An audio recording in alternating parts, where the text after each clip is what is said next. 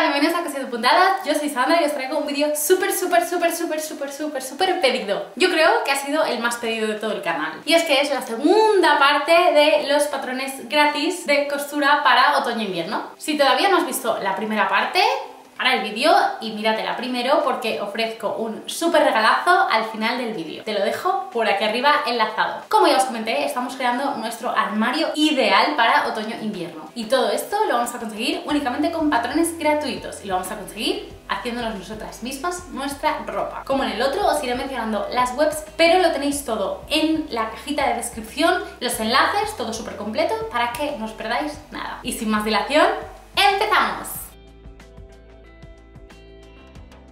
Vamos a empezar por la primera web. De esta me han gustado bastante, bastantes patrones, la verdad. Concretamente he añadido a la lista 6. Empezamos por una falda tejana, que no puede faltar no solo para la temporada otoño-invierno, sino para cualquier temporada. Es un absoluto básico. Es perfecta para crear looks más casuales y cómodos para el día a día. En este caso, como he utilizado una tela tejana, ha deshilachado el bajo. Yo soy más de no deshilacharlo porque al principio me parece que queda súper bonito y súper mono, pero luego al final se va deshilachando demasiado y queda muy mal. Entonces yo al final prefiero hacerle un acabadito, pero oye, para gustos los colores. Si buscáis vestidos fáciles tanto de coser como para combinar, aquí te traigo dos. Nos vamos a centrar en el primero y yo creo que es un vestido más sencillito, pero muy elegante a la vez. Es un vestido camiseta, así que a cómodo no le va a ganar nada y al final no tiene apenas costuras, así que de coser es súper fácil. Y si buscas algo más entallado en cuanto a silueta, que te ciña un poquito más, te dejo este vestido. Importante, las telas de punto escogidas para estos básicos. Si al final no elegiste la de punto, prácticamente no os lo podréis meter, necesitaréis una cremallera o algo, así que tendréis que ajustar un poquito el patrón para telas de plana. Y ahora una prenda perfecta para los días de más fresquito. Un cardigan, también súper sencillito de hacer y muy resultón. Os recomiendo que escojáis un tejido bien calentito para que haga muy bien su función. Me flipan las mangas tan caídas y la largura de este cardigan me parece ideal. Y vamos con los pantalones. Buscas un pitillo, aquí tienes el perfecto. De tiro alto, súper elegante con esos bolsillos italianos, con unas pinzas en la parte trasera para estilizar mucho más la figura perfectos. Y si buscas algo más anchito, aquí tienes estos. Un estilo un poquito más tejano, pero ancho en la parte del bajo. Súper en tendencia también. Nos vamos a otra página web. Aquí he encontrado 5. Comencemos con dos faldas midi que ya sabéis que se llevan un montón. La primera tiene los volantes en el bajo, que le da un toque único y súper especial. Yo soy súper fan de todo lo que lleve volantes y este patrón me parece una preciosidad. Y la segunda te puede aportar un look un poquito más elegante. Me gusta muchísimo la abertura delante, creo que le da un toque sexy súper guay. Y los bolsillos también hacen el patrón súper completo. Seguimos en la misma página pero vamos a ver dos blusas. La primera me tiene totalmente hechizada con esas mangas abullonadas. Además no tiene cuello camisero, así que súper sencilla de hacer. Y la segunda me parece lo más cookie del mundo. Si buscáis algo más romántico, os la súper recomiendo. Es preciosa. Y por último he seleccionado este vestido fruncido. Bastante sencillo a simple vista, pero ojo, que tiene su qué. El fruncido en la parte delantera estoy seguro que sienta súper, súper, súper bien y te queda un vestido muy favorecedor. Lo único que yo en concreto le modificaría las mangas para hacerlas largas porque a mí las mangas tres cuartos me parecen muy bonitas de ver, pero mmm, me parece que no hacen ninguna función. Si tengo calor quiero una manga corta y si tengo frío quiero una manga larga, porque si no al final siempre estoy bajándome la manga y no da más de sí. Se queda en nada, así que yo siempre que hay una manga tres cuartos, la verdad que la suelo modificar, pero bueno, como queráis. Nos vamos a la siguiente página web y de aquí saco tres patrones bastante variaditos. El primero es una prenda que, dependiendo del tejido, oye, te sirve tanto para dentro de casa como de fuera. Si utilizas una lana o algún tejido calentito, oye, puede ser un cardigan estupendo y maravilloso. Pero si utilizas un tejido de rizo, oye, que te puedes plantar un albornoz perfecto para cuando salgas de la ducha, que no puedes estar del frío que hace te caliente. Así que piensa muy bien el tejido que vayas a utilizar. El siguiente patrón es una camisa básica, porque al final no todo van a ser prendas especiales y diferentes. Para crear nuestro armario soñado hay que combinar.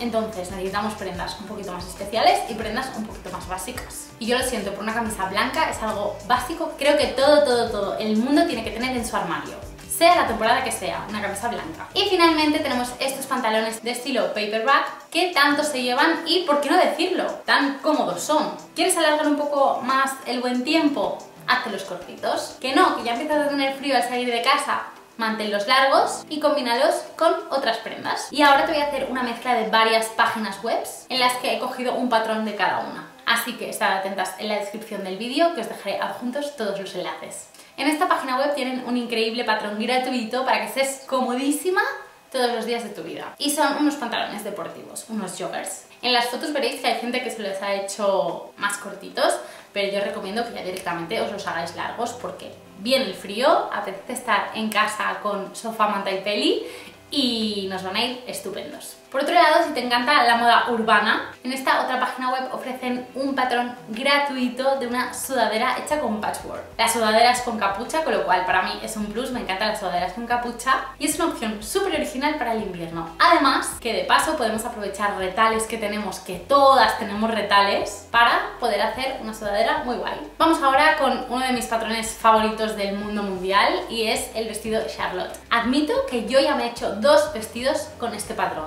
uno de manga cortita, que la modifiqué, y otro de manga larga. Y lo siento, pero no me canso, porque sienta tan bien y me gusta tanto como me queda, que me haría 800.000 vestidos. Así que tenía que estar en esta lista sí o sí. Además, aprovechando que la página web Fivermood los patrones no son gratuitos, pero justo este sí. Así que qué menos que tenerlo en nuestra lista para hacer nuestro armario soñado. ¿Buscas chaqueta? Está claro que para otoño e invierno la necesitamos sí o sí. ¿Y qué tal las bombers? ¿Os gustan? A mí me encantan, así que os dejo este patrón de aquí, perfecta para la temporada. Combínala con los tejidos que tú creas adecuados y será tu prenda estrella. Este patrón me parece precioso. Vamos a seguir con línea de chaquetas, pero ahora vamos a buscar una que sea un poquito más acolchada e impermeable. ¿Por qué? Porque en otoño e invierno ya sabemos que las lluvias pueden estar presentes, suelen estar presentes y la verdad que esperemos que estén presentes porque este verano nos ha llovido muy poco. Así que para los días en remojo ya sabéis que esta prenda será vuestra aliada. El penúltimo patrón que os quiero enseñar es una falda bastante sencilla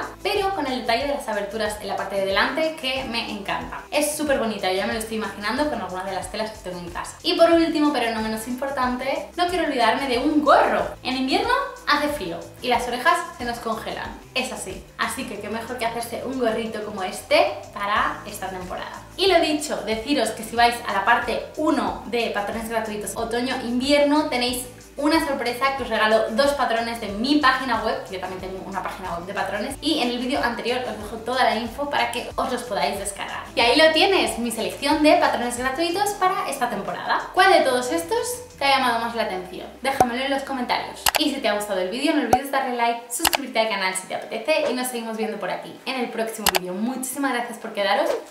¡Chao!